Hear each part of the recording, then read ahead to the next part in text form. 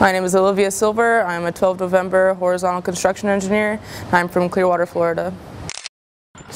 No one is more professional than I. I'm a non-commissioned officer, a leader of soldiers. As a non-commissioned officer, I realized I'm a member of a time-honored corps, which is known as the backbone of the Army. I am proud of the Corps of non-commissioned officers and will at all times conduct myself so as to bring credit upon the Corps, military service, and my country, regardless of the situation in which I find myself. I will not use my greater position to attain pleasure, profit, or personal safety.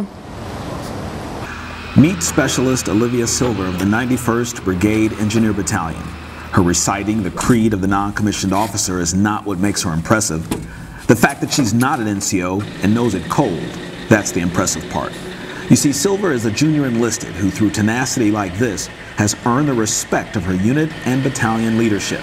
Her enthusiasm starts with her appreciation of Army life. What I love about the military is the structure and the organization and all the opportunities that it provides. It's all about like what, what, choices you decide to make, like how you get yourself out there. You can really accomplish anything within the military.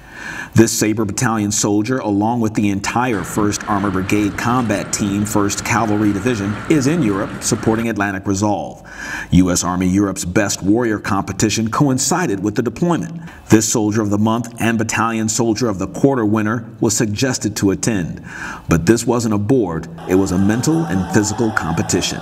It was absolutely humbling. You know, you go into something like that thinking, thinking you know stuff, thinking, thinking you're pretty good at what you do, and you go there and you see, you see those people. They make me want to come back here, and they make me want to do better. Just study that much harder for, if in case another competition like that comes in the future, like I'll, I'll be that much more prepared. A winning attitude requires perspective. At the end of the day, I like feeling like I accomplished something. Even if, even if I didn't really do much that day, like I'll tell myself, well hey, I was on time today, good job. The, little things, the little accomplishments throughout the day is like what, what keeps me going.